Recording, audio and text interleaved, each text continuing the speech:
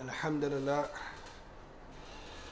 نحمده ونستعينه ونستغفره ونعوذ بالله من شرور أنفسنا ومن سيئات أعمالنا من يهده الله فلا مضل له ومن يضلل فلا هادي له وأشهد أن لا إله إلا الله وحده لا شريك له وأشهد أن محمدا عبده ورسوله وصلى الله عليه وعلى آله وأصحابه أجمعين.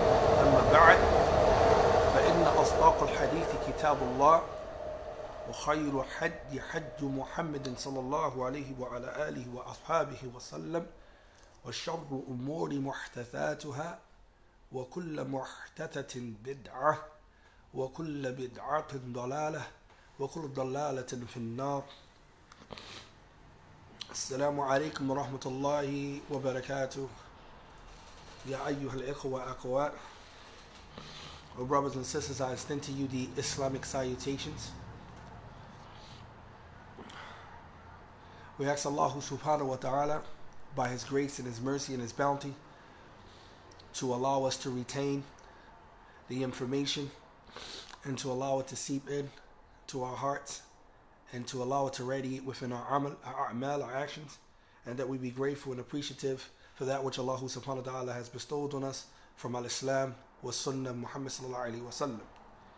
Today's talk, bi'idhnillah, will be a series of talks that will be based off a section that comes in a tremendous um, poem that was put together and composed by one of the greatest scholars of Al Islam, um, and that is, you know him famously as Ibn Qayyim, Shamsuddin Ibn Qayyim al Jawziyah, Rahmatullah Ta'ala alayh, who have earned the title Sheikh al Islam al Thani, which they will call him the honorary title, the second scholar of Al Islam and also he has the name which is known as Tabib al-Rahman, I mean Tabib al-Qulub, the doctor of the souls, in terms of the doctors of the, the doctor of the heart, dealing with those issues that uh, help us correct our hearts and the state of affairs of our heart. And anyone that has the ability to graze into the works of this great illustrious scholar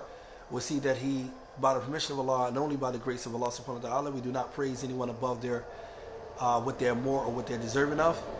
That he have tackled some issues and dealt with a lot of issues, inshallah, with the support and aid of Allah by way of his book and as by way of the ahadith that's authentically attributed to the Prophet sallallahu as well as the stances that was taken by the companions with Allah ta'ala. In this tremendous poem which, he, which is known as Al-Kafiyatu Shafiyatu Al-Fintisar Al-Firqat Al-Najiyah, which he have titled The Complete Sufficient Healer and aiding and supporting the victorious group, um, which is come famously known as Qasidatul Nuniyah or Nuniyah to Ibn Qayyim. And the reason why they call it the Nuniyah of Ibn Qayyim um, is because that each letter in the line of poetry ends with the letter in the Arabic alphabet, which is known as Nun. Um, and this is where they derived that they call it Qasida to Nuniyah. However, the name that I mentioned in the beginning is the name that the author gave it. He didn't give it Qasida to Nuniyah, even though as a nickname for it, it still could be known as Nuniyah to Ibn Qayyim. And this tremendous poetry, he covers a lot of topics, various different topics. And there are many people who are greater than me, who are more educated than me, more knowledgeable than me, who have reached more levels than me in Al Islam, that able great were able to graze into these different um, sections of the poem, which is over five thousand and some lines of poetry that the author have written down. And if anyone know poetry in Arabic is kind of difficult, especially keeping it aligned with the the the symmetrics, and actually the, um, the the rhythm and so forth. That he put forth this five thousand lines in aiding and supporting those who hold firm. He has a segment or a section rather that deals with what Allah subhanahu wa ta'ala has prepared of the reward for those who cling firmly to his book and to the sunnah of his messenger وسلم, during the times of corruption, during the times when the affairs are corrupted, during the times when there are trying times. So I wanted to take this section to do a series of talks just based off of this. We will be using the um, explanation of Alamat Sheikh Muhammad bin Salih Uthaymeen rahmatullah ta'ala alayh um, in comment on this section here. I want you to pay attention what the author is able to do, especially in the time that we live in. Especially in the time that we live in. As the Messenger of Allah وسلم, he says in the hadith of Abi Najih, Al-Irbad ibn Sariyah, anhu, he said to the companions, he says, فَإِنَّهُ مَنْ يَعِيشُ مِنْكُمْ فَسَيَرَى اخْتِلَافٍ كَثِيرًا He said, for anyone from amongst you who will live after the period, meaning who will live afterwards, they will see many differing, many things that will be in contradiction to that of the Sharia to Allah as well as the Sharia to Muhammad sallallahu alaihi wasallam. That which is in contradiction to the Sunnah of the Prophet sallallahu alaihi wasallam. And then the Prophet sallallahu said, "For if you reach that time, then he gave you something which you should do. He said, فَعَلَيْكُمْ بِسُنَّتِي وَسُنَّةِ الْخُلَفَاءِ الرَّاشِدِينَ الْمَهْدِيِّينَ He said that upon you is to hold firm to my sunnah, to my tariq, to my methodology, to what I was upon, to what I hold firm to, what I act on, what I believed, what I said, what I um, prohibited, what I commanded, so forth. And then he said, hold firmly to the sunnah of the rightly guided khulafa. And the ulama, they say the rightly guided khulafa is from Abu Bakr as-Siddiq anhu, all the way up to Ali ibn Abi Talib. Some of them include um, Umar ibn Abdul Aziz as being from amongst the Khulafas, the difference of opinion amongst the ulama in regards to that. However, the four rightly guided from Abu Bakr as-Siddiq to all the way to Ali ibn Abi Talib hold firmly to their sunnah, the rightly guided al-Mahdiyin. And one version he said, min ba'di, meaning after me, وَتَمَسَّكُ biha and hold firmly to it. But in the version we're talking about, which it comes in the Tirmidhi, he says, after holding firm to that, he says, all bu alayha bin nawajidi. And he said, all bu alayha bin nawajidi. And this is very important because he says, bite down onto this sunnah of mine. And the sunnah of this khulafa al-rashidin, bite down on it with your molar teeth. Describing it in such a way like this, it means that you have a deadlock onto this sunnah. You don't let it go. You don't come up for one moment because this is the safety that you're going to need during the times of khilaf, during the times of differing, during the times of fasad, during the times of corruption, during the times of evilness and wickedness. This is the time that we find ourselves in today. And no one can actually tell me that this is not the, not the case, that we're not looking at what we're being experienced. And this is important to understand. So in this section, the author is able to encourage the people to hold firmly. Those who are firm to the book on Sunday, he encouraged them by letting them know the rewards of doing so, letting them know what Allah has prepared for them, letting them know that by them having patience, by them having iman, by them being firm and thabit upon their position and not wavering due to the corruption and the many corruptions that they see, Allah has prepared for them a tremendous reward. And we need this encouragement right now. Wallahi, tallahi, wallahi, we need this encouragement right now. Especially at a time where your deen is so weak, where you can just, just a, a, a spook in the shadows can cause you to just discard your deen. And we know this, and I'm not exaggerating. People give up their deen by way of actions. People give up their deen by way of statements. People give up their deen by way of beliefs. People give up their deen by way of ideologies, thoughts, patterns that you shouldn't have all because you see this happen or seeing that happen. And you're believing that if this happened or that happened, where's Allah?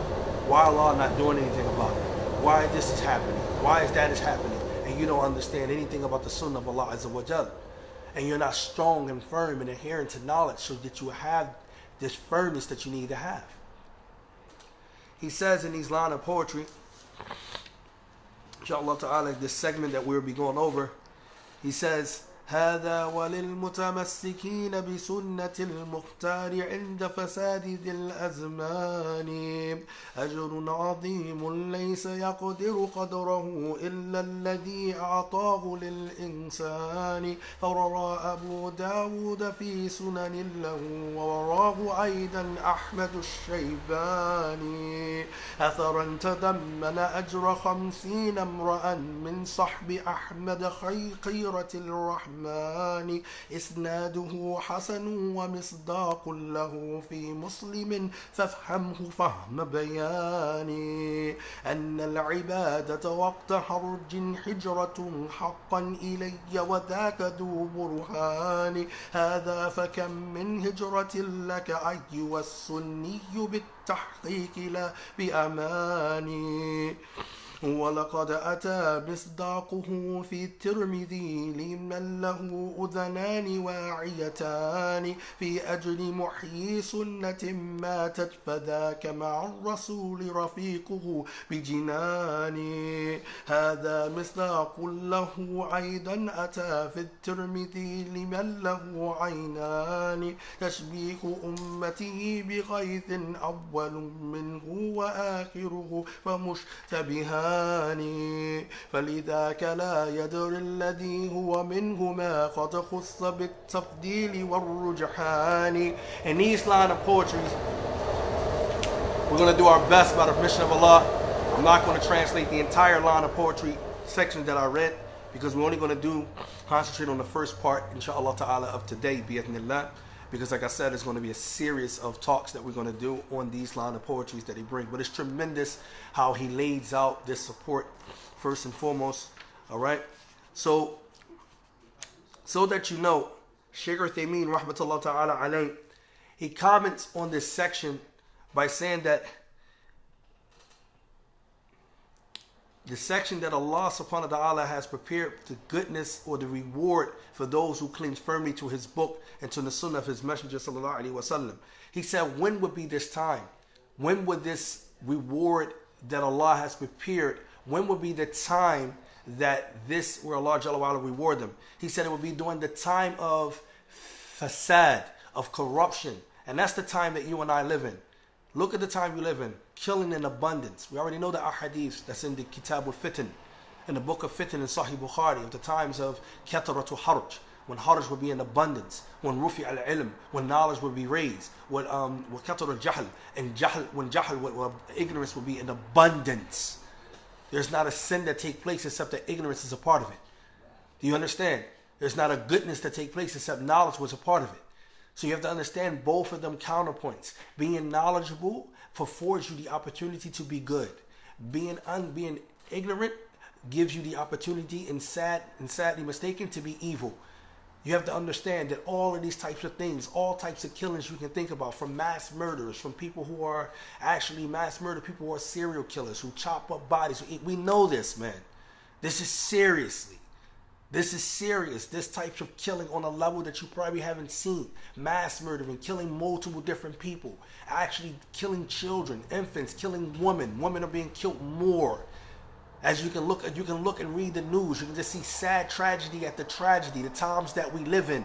Death just hovering over us at any moment, at any time. Somebody dying horrifically no matter if they're one years old, no matter if they're an infant, no matter if they're an elder, no matter if they're a shab, a youth, no matter if they're actually a full adult, it doesn't matter. This is the time that we live in, that corruption on that level, with everything else that's associated with it, with all of the drugs being administered, for all of the stuff that's being taken, the different khamr, the different stuff that's being promoted, whether it's in the hip hop world outside of it, whether it's amongst the celebrities or outside of it, whether it's even in our neighborhoods, everything that we see, all of the corruption, fasad zaman. That's the time that we see ourselves in. You don't think we don't need these words? How do you think Ibn Qayyim al-Jawziyah and even people such as greater than him, how do you think they made it to the times of their trials? Ahmed ibn, Ahmed ibn Hanbal during the times of the Mihna, the great tests and the trials that he had. How you think they made it? They made it by holding firm onto these words, man. They made it by holding firm onto the book of Allah and the Sunnah. That's how they was able to navigate through those times. Allah Azza wa Jalla says in the Quran, fi Surah Baqarah, highlighting this point, making it very clear. Allah Azza wa Jalla says, أم حسبتم أن تدخلوا الجنة ولما يأتكم مثل الذين خلوا من قبلكم أعوذ بالله من الشيطان الرجيم Allah says, أم حسبتم أن تدخلوا الجنة ولما يأتكم مثل الذين خلوا من قبلكم Allah Azza wa Jal says, Do you think, do you not reflect, do you not ponder that you're going to enter paradise. You're just going to enter my Jannah. You're going to enter paradise and not be tried like those who came before you? مستهم البأساء والضراء وزلزلوا حتى يقول الرسول والذين آمنوا معه والذين آمنوا معه متى نصر الله Pay attention because this how difficult and this how challenging and this how trying that those time periods that Allah has allowed to be upon people to live in. Allah subhanahu wa ta'ala did not spare his messengers from this. Allah subhanahu wa ta'ala, he says, they have been touched with distress, with calamities, with afflictions, with annoyance, with harm. They have been touched with these things to the point that they were shaking. Zulzilu.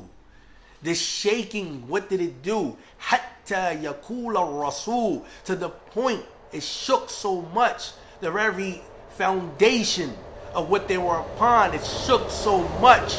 It shook so much, Allah says, and to the point that the messenger, that the point that the messenger, sallallahu alaihi wasallam, that the point that the messenger, sallallahu alaihi wasallam, and those who believe along with him, they were shaking to the point they made this statement when will the help of Allah come? When will the relief of Allah Azza come? When will the help of Allah come?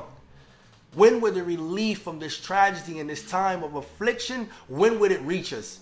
Allah Azza wa Jalla end the verse by saying, Ala inna nasrallahi qareeb. Is not the help of Allah ever near?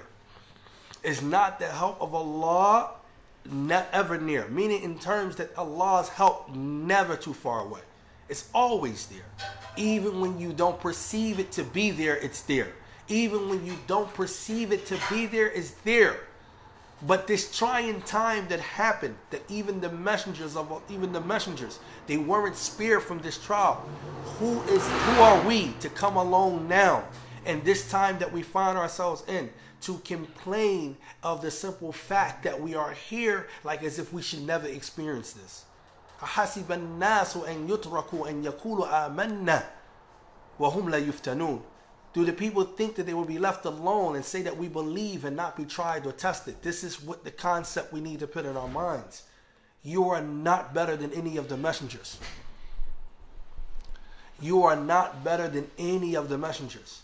You are not better than any of the people before us. So Allah shows you this in terms that we tried them just like we're going to try you. So you understanding this knowledge, you having this information, having this information to make you firm and thabit. He says here, Shaykh Uthaymeen says لأنه إذا الزمان صالحا وكان الناس فيه على استقامة سهل على إنسان يستقيم so when you have a good time, a time where a period where there's goodness and there's abundance of goodness, there's abundance of good deeds, abundance of righteousness taking place, then it's easy for you to remain upright then it's easy for you to be good because you're in an environment and you're in a society that call to good and that is practicing good. So it's easy. This is not a time of trial. He says, but however, when you find yourself living in a time of trial, of corruption, where everyone, no matter in what part that they play in the tolling pool, no matter which part of society, everyone have some type of corruptionness with them in any office right now you can think about there's some corruption whether it's the government whether it's this whether it's that. It's some, it's some level of corruption that's found. No matter it's a level of corruption which goes back and ties back to the kalub all right? He says if you find yourself in a time of corruption then know that the people in there will not be upon istiqamah. It's not going to be a time where people are going to be upright. Their practicing, their dealing with you is not going to be wholesome. They're not going to be truthful. They're going to be smiling in your face the whole time with the knife behind their back, ready to stab you. Do you understand this? They're not going to be good. So when you find yourself in this time, you have to be alarmed. You have to be prepared. You have to be aware. You have to be on your guard. And the only way you can do that is by arming yourself and clinging firmly to kitab was sunnah. Do you understand? This is what he's saying. This is the only way you're going to be able to navigate between it is that the person who think that your friend is not your friend. The person who you think is on your side is not on your side. People have other types of agendas because we're in the time of corruption. And you're going to find the soul that's not tainted by time of corruption is going to be doing the same thing you're doing. They don't have time to intermingle. They don't have time to mix and do this. Pay attention what he's going to say.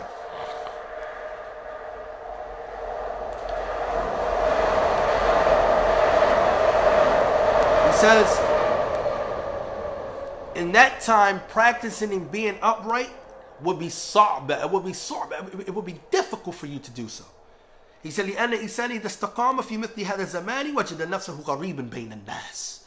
He says so what happened is the individual who found himself in a time of corruption, trying to remain upright, trying to uphold the tenets of Al-Islam, trying to uphold the tenets of the Sunnah, trying to be upright, he's going to find this person is going to be a stranger amongst the people.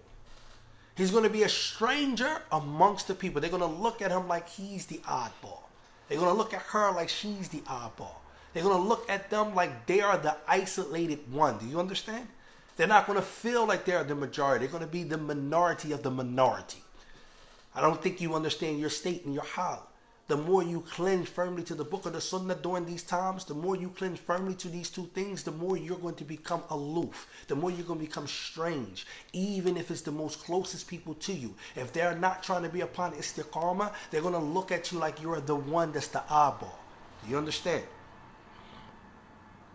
He says, وَتُوبَ لِلْغُرَبَاءِ And he says this based off a hadith we already know. He says, well, tuba, and there's many different interpretations to the meaning of tuba here. However, we say that it's something that will be given to you and granted, meaning paradise, for, the, for those who are strangers. And this is an encouragement, and this is also showing you the reward to actually be firm even during this time.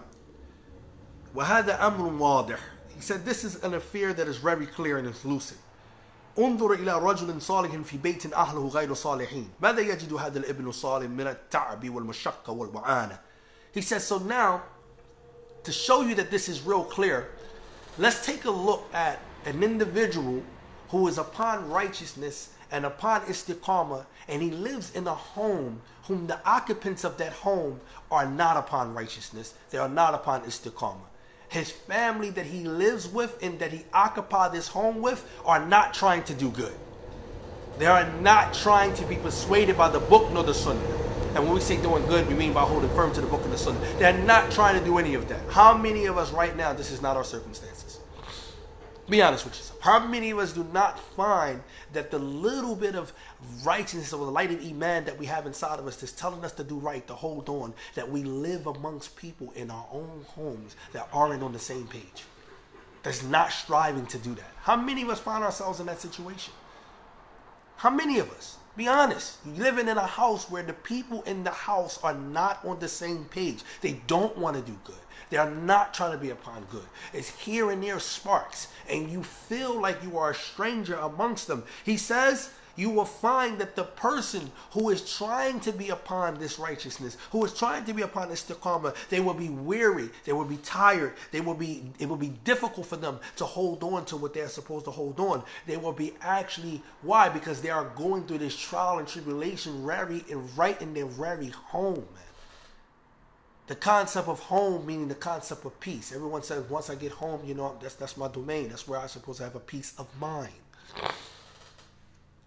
But you come home and you want to worship Allah and you want to be an avid worshiper of Allah. Right now, you have to understand how deep this goes. And I don't think I'm going to try to paint a picture for you so that you can understand how deep it is. You can be a person who falls short on the daily with your deen, right? But the fact that you are holding on to some aspects of your deen, the one who isn't even at your level going to look at you like you're strange and they're going to look at you like you're weird and you're going to have to have difficulty in dealing with them. And then let's go down even more. You might find an individual who doesn't pray all five prayers, but probably pray one or two prayers and do something like this. The one who doesn't pray at all looks at that person even more strange because that person is trying to do right. Do you see how it triples down? You see that trying to hold on to something good. Where a, a lot of them are homosexuals. So they're making the people who aren't homosexuals look like something is wrong with them, like they're not getting it right. And they're making the people who aren't wicked, who don't want to give into orgies, who don't want to give into interest, Yuba, Riba, don't want to give into this, gambling, don't want to give into that. They make them look like they're the oddballs. They're the ones sticking out. They're the ones that's going against society. They're the ones that are not normal. You are in the fasad of Zaman. That's what I'm trying to get you to understand. You are living in a time of corruption. What do you supposed to do? while you're in this time? Do you supposed to complain?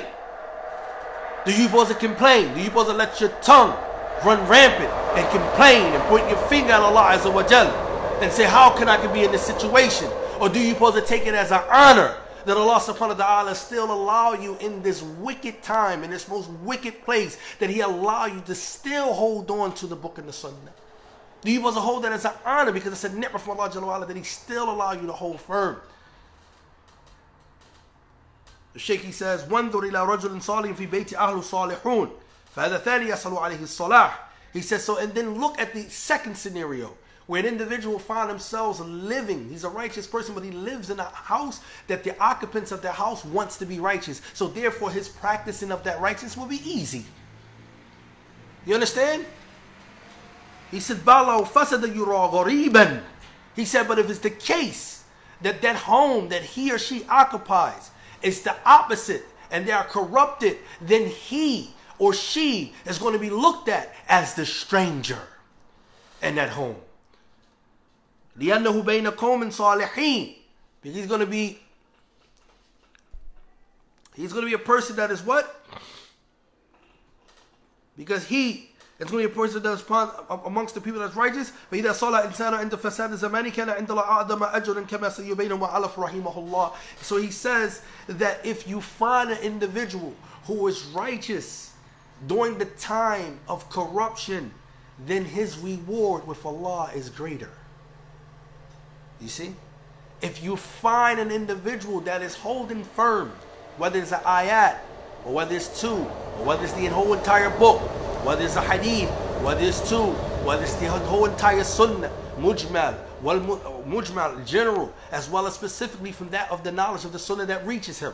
That he hold firmly to that. She hold firmly to that. During that time of corruption, the reward is greater. As the author said, and we're only going to do the first line of poetry. Remember we said it, then we'll stop. And this will be continuation, inshallah. He says in that first line of poetry that he says, هذا وللمتمسكين بسنة المختار عند فساد ذي الأزمان that this reward that has been prepared by Allah Azza wa Jal will be for those who hold firmly to the sunnah, the chosen sunnah, the selected sunnah during the times of these trying times of corruption. أجر عظيم ليس يقدر قدره إلا الذي أعطاه للإنسان meaning that that this that will be given to that person who firmly, meaning it will be a great and tremendous reward. Whom the value, the extent of that reward is only known to the one who is the giver of man. And we know that is Allah Azza wa Jalla. Uthaymeen, he says that the one who hold firmly to the sunnah will have a tremendous reward. And none knows the extent or the value of that reward except the one who have given man, who have who is the giver of man, and that is Allah Azza wa Jalla. So you don't even know the reward or the extent of that reward that is awaiting you while you are going through the trial and tribulations of the time of corruption. You find it hard, don't you? You want to do right. You're just trying to make your five, right? And you might be living in a house full of Muslims and none of them pray along with you. And you're just there praying your prayer. You find it difficult, right? It's difficult upon your soul. You're inside a home where you have a full of Muslims and none of them praying but you, right? You might live in a society or a community where you have a group or full of Muslims and none of them really trying to hold on but separate few and selective, right? You might find this trying, this is difficult, man. To see that you're trying to uphold that which your Lord has told you to uphold. And you come outside and you come out and you see an individual beard long as you or even longer. An individual have a hijab, right? or an individual have niqab, or an individual have jilbab, etc., etc., but they don't behave in a way that they're trying to get nearness to Allah Azza wa Jal.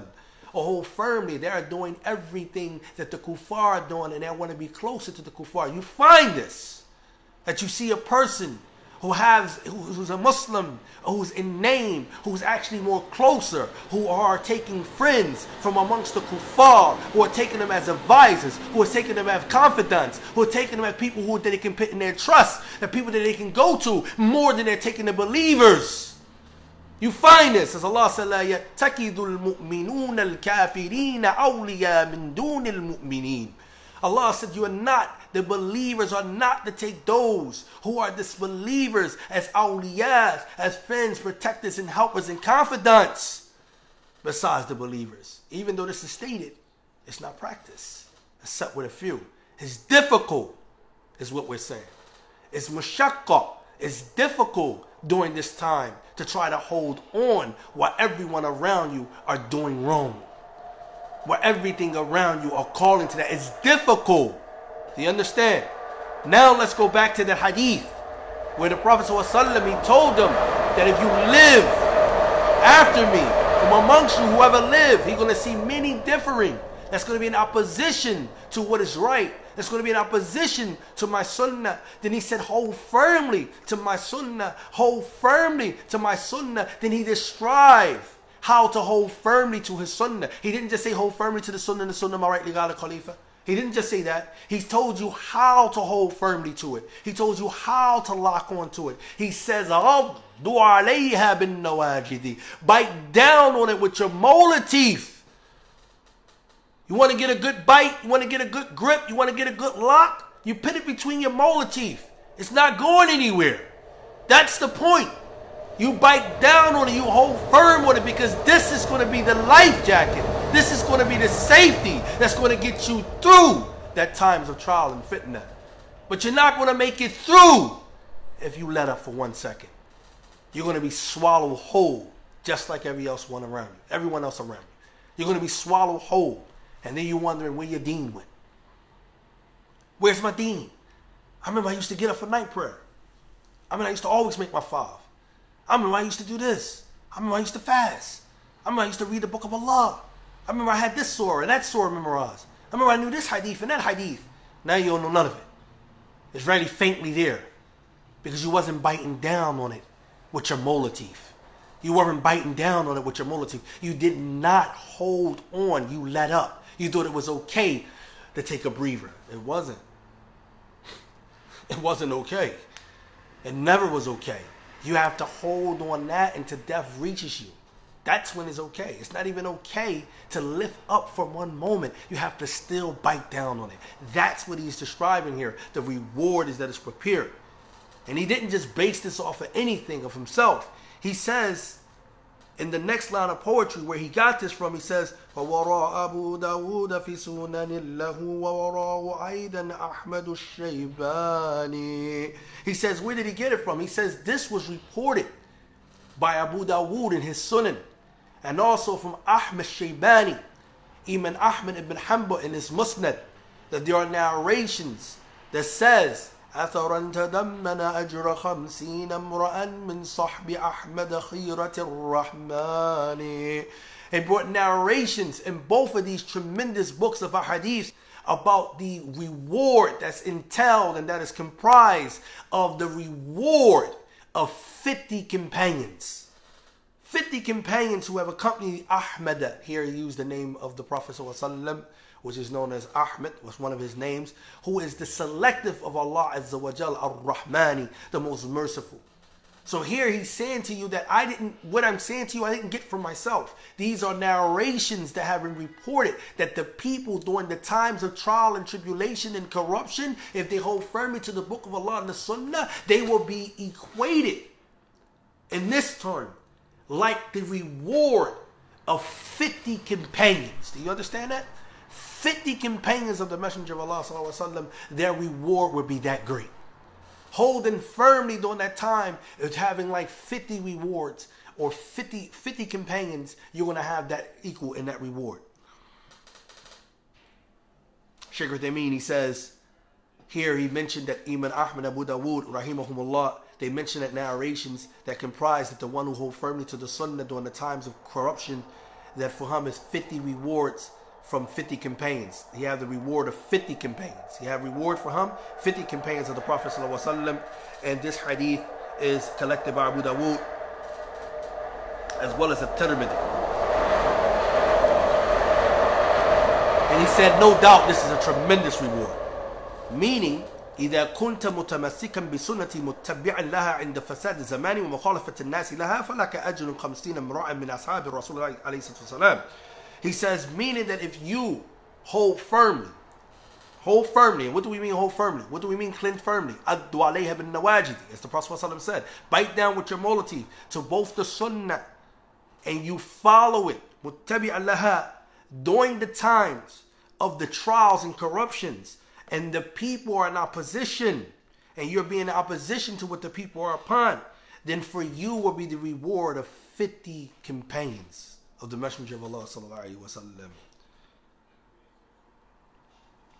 إسناده حسن ومصداق له في مسلم فافهمه فهم بيان Then he said about the chain, the, the chain, the isnad of these texts that he's talking about.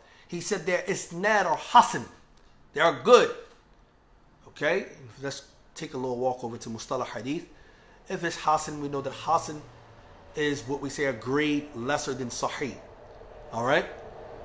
Hasan is a grade lesser than sahih. And he says it had also been confirmed. Meaning these reports has also been confirmed in Sahih Muslim. So he said, فَفْهَمْهُ فَهْمَ بَيَانِ So he said, understand this with a clear understanding, with absolute clarity. Understand this point.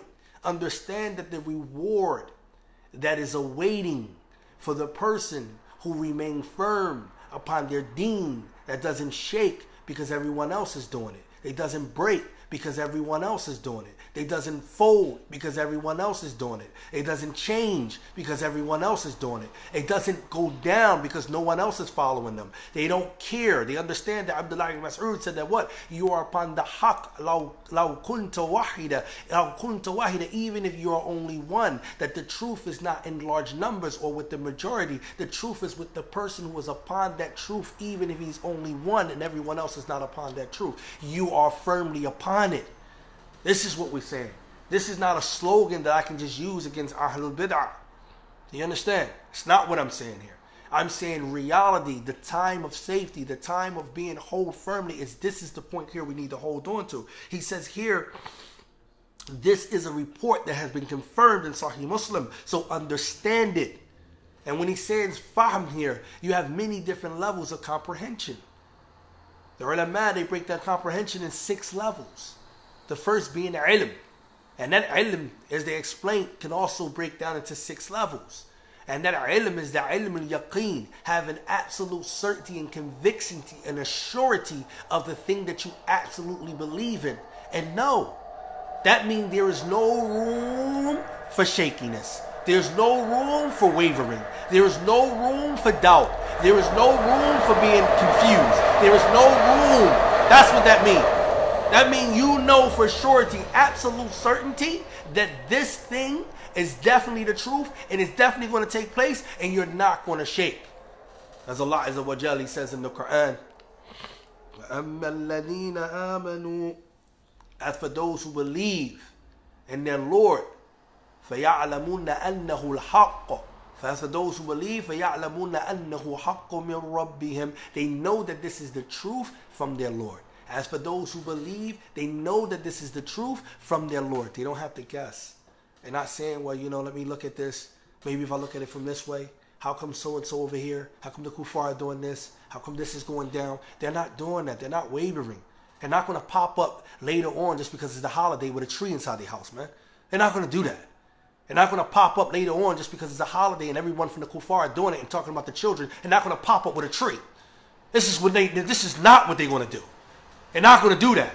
They're not going to pop up on Valentine's Day with some damn heart and candy, man. They're not going to do that. This is not what they're going to do. They're not going to pop up celebrating the Prophet's birthday, the Milad, and putting trees and, and, and ornaments. They're not going to do that. They're not going to waver because they're going to stick firm to the Sunnah. They're going to stick firm to that which the Messenger of Allah was upon. This is the individuals during the times of corruption.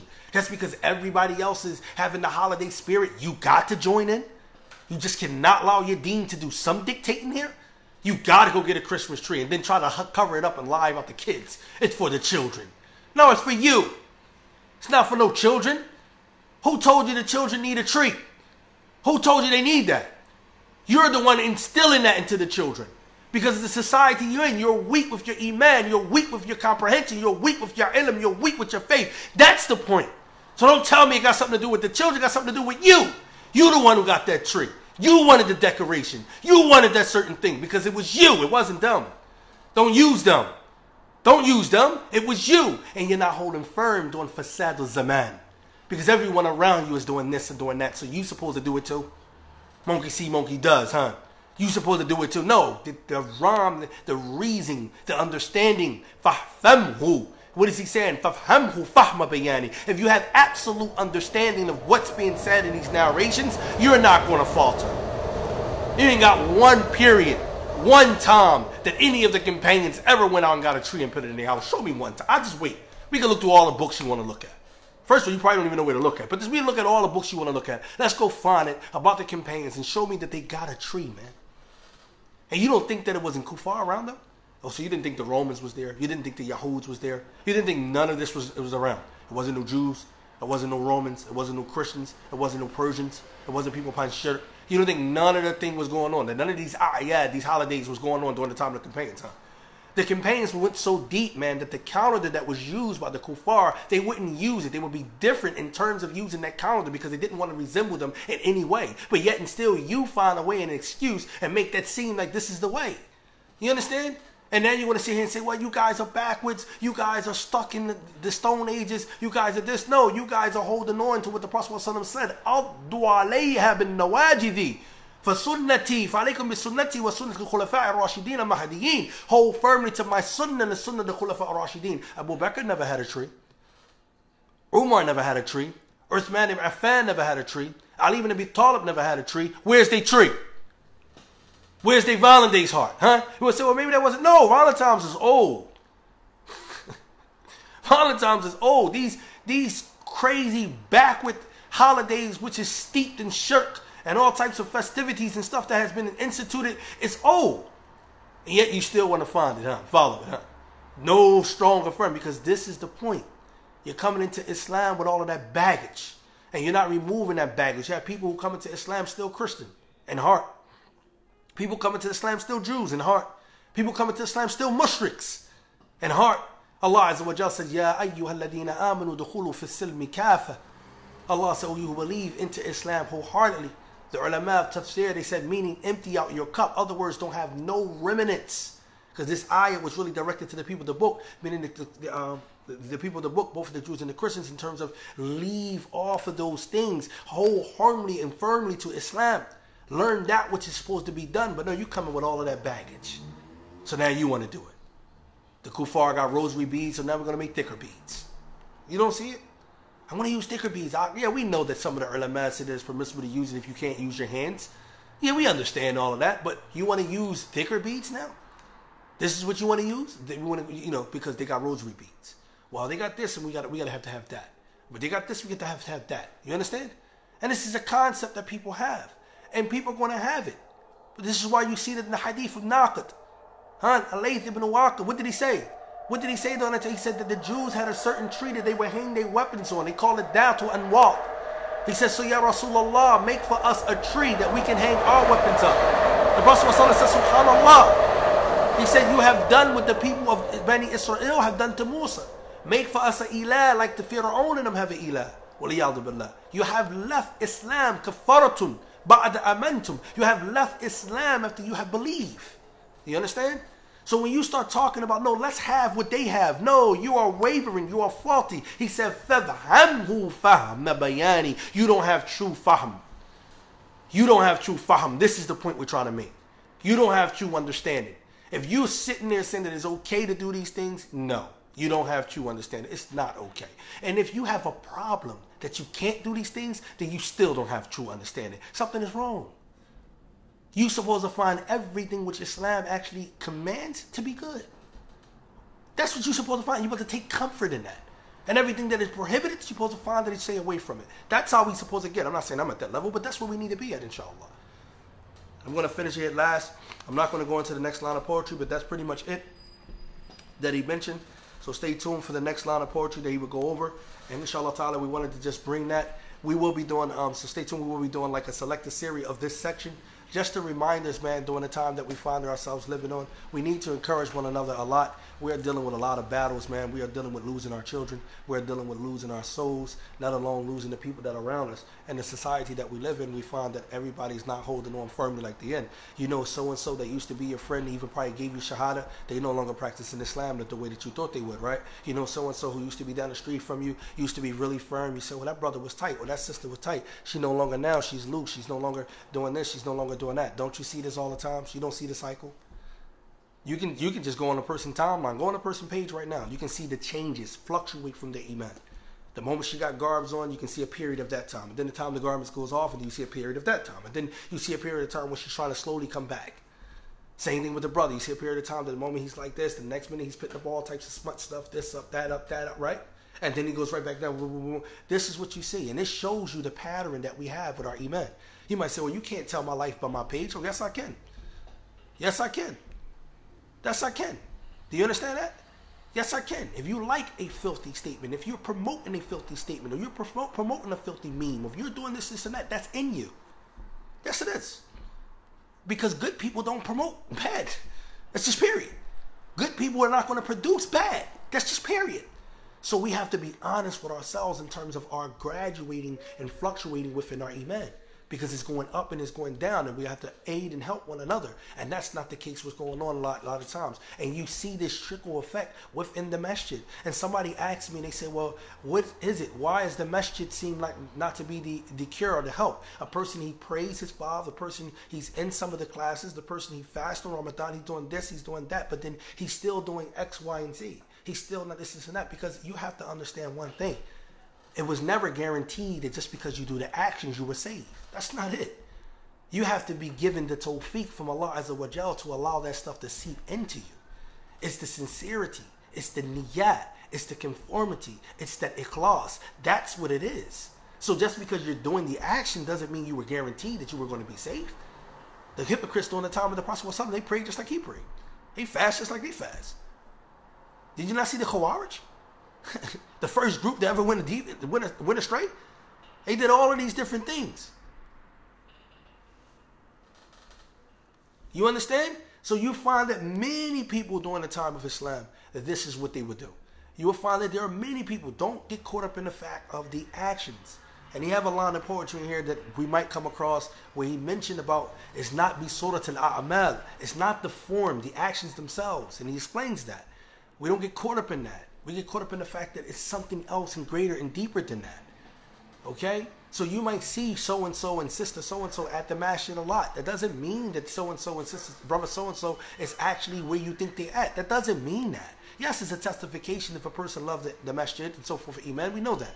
But don't take things out of its context. I only wanted to bring that, not try to drag that on. Alhamdulillah, um, as we said before, this line of poetry is found in both the Kitab was Sunnah because he, he mentioned this. He says, for wara Abu Dawood, alhamdulillah, he mentioned that. So when you hear me speak and when you hear the ulama, they, they author poems or you hear them talking, they're going to be using proofs and evidence for what they're saying.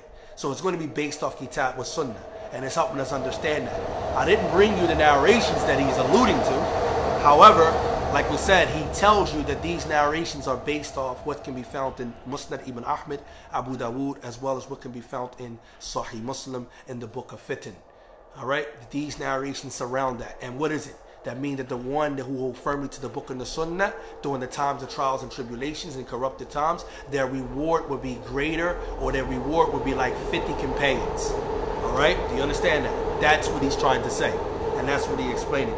Whatever we said that was incorrect in our translation is definitely from myself and shaitan. Whoever said it's correct. And from Allah Jalla wa ala. Subhanaka Allahumma bihamdi. Ashhadu an la ilaha anta astaghfiruka wa atubu ilayk. Jazakallah khair.